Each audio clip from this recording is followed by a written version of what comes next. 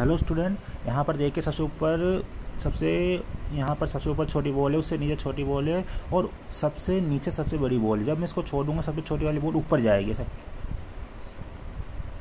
इसको अपन देखेंगे अभी वापस अपन देखते हैं। सेम कंडीशन ऐसी है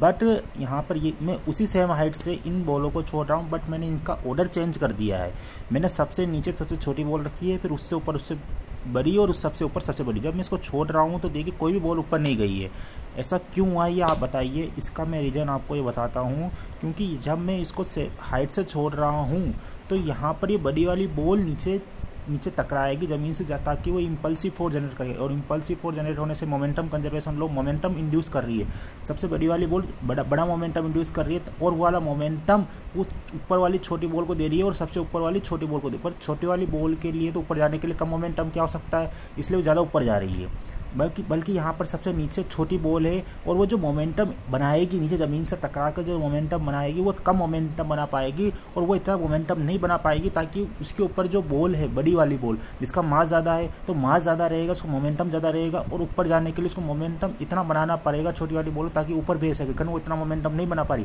परंतु पहले वाले केस में अपन ने देखा था कि वो छोटा मोमेंटम बना नहीं पा रहे ऊपर।